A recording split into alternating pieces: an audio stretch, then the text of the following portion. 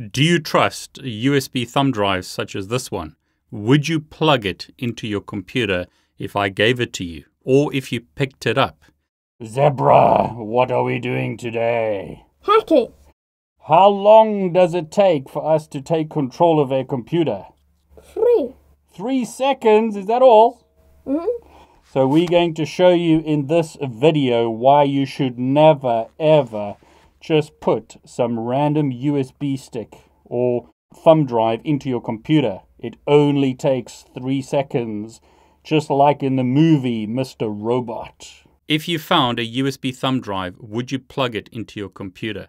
So, as an example, if you found it in the parking lot, would you plug it in to your computer? Or if you picked it up somewhere, would you plug it into your computer? Perhaps you've gone to a computer trade show or some other trade show and they're giving out USB thumb drives. Would you plug this in? It's a really bad idea to plug in unknown USB thumb drives, especially if you just picked it up in the parking lot of your company. Let me show you why it's a really bad idea to do this. This looks just like any normal USB thumb drive, but notice what it's going to do. I'm running a web server on my Kali Linux or Kali Linux VM here. This could, however, be hosted in the cloud. I'm running a simple web server and I'm running an application called Netcat that allows me to run a reverse shell attack. Notice what happens when I plug this in. I'm going to plug it in just like any other normal USB thumb drive. Something happened. I don't know if you noticed that. It went very quickly. We saw something happen and then it disappeared. Now, literally within a few seconds, I have control of this laptop using this USB thumb drive. Because what's happened is that computer has opened up a session to my web server and it's downloaded a PowerShell script that allows me to have a reverse shell connection to the laptop. So, on my Kali Linux server, if I type who am I, notice it says Asus Windows 10 David. That's the user on this laptop. I'll move this a bit closer so that you can see that on the camera as well. So I can type a command such as dir, can see a bunch of stuff, cd root dir. This is the directory of the C drive on that computer. I'm viewing the C drive of that computer. Now I can send commands to this computer to get it to do almost anything. So notice what's going to happen. I'm going to paste a command into my Kali Linux server. This is Netcat.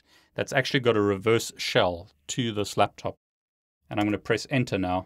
And notice on the laptop, something happens. I'm not touching the laptop.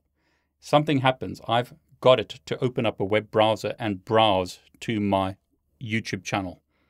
So just by typing a command within Kali, I've been able to get the laptop to do something. I'll kill that task. So I'm going to kill Chrome now. Notice Chrome is dead. What I'll do is start Notepad on that laptop. I'm just showing you some basic examples here. I mean, you could get it to do almost anything. Let's kill Notepad. So I'll paste my command in. Notepad is being killed. I'm not touching this laptop, but I'm remotely controlling it using a reverse shell, I'm actually running PowerShell in the background on this laptop. And I'll show you that in a moment. Let's have some fun. So what I'll do now is start a web browser and point it to a PNG file that I've found on the internet. So I'm going to get this to browse to some server on the internet and display a web page. Basically, I've got it to display a blue screen of death. It's not an actual blue screen of death. It's simply a PNG file or a graphics file hosted by a company on the internet. So I'm controlling this laptop and getting it to browse to a website on the internet. Let's kill Chrome again. There it's gone. But notice I'm controlling this laptop. I can get it to do almost anything. As an example, I could get it to create a file. So I'll connect to the laptop using remote desktop What you'll see on the temp directory of this laptop is there's no file there. But what I'm going to do is create a file on that laptop remotely. So I'll paste in something and on the laptop, notice there's a text file and I've written some code to it. So I've been able to remotely create a file on this laptop. Now what's happening in this laptop actually is, and I'll show you this by opening up Task Manager, is I've managed to run PowerShell as a hidden process on the laptop. So PowerShell is running here, but I hid it. So when I started the attack, basically the rubber ducky, and that's what this thumb drive actually is, I programmed this to send commands to the laptop. This is basically emulating a keyboard and sending keystrokes to the computer as if someone had typed it. But it literally only takes a few seconds to run this attack. So I'll kill PowerShell here and I'll just run the attack again. So on my Kali Linux server, I'm running Netcat. Netcat is really powerful software. Allows you to do something like this, where I've got a reverse shell connection to a laptop or a device. I'm running a web server. Notice how long this attack takes. It takes a few seconds. Plug this in.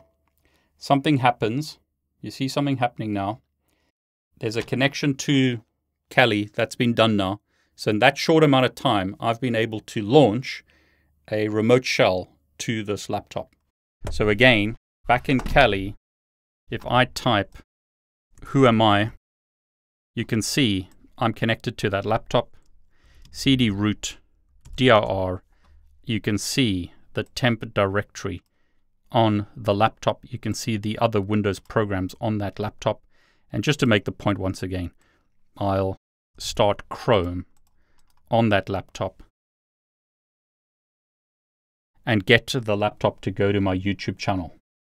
Now, this kind of attack works not just with Windows, but with other operating systems as well. So it could also be used to attack a Mac as an example. It's not just a Windows attack. I just use Windows in this example.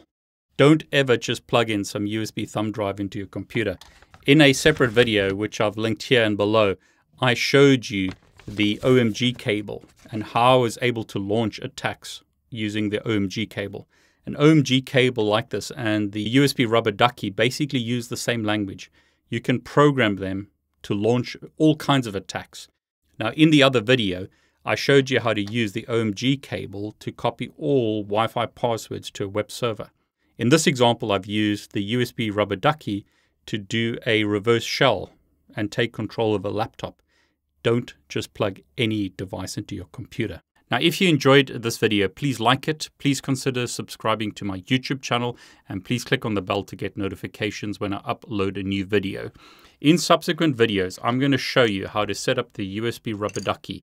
I'll show you all the steps to get this configured with various payloads so that you can launch attacks in a similar way to what I've demonstrated in this video. I'm David Bombal. want to wish you all the very best.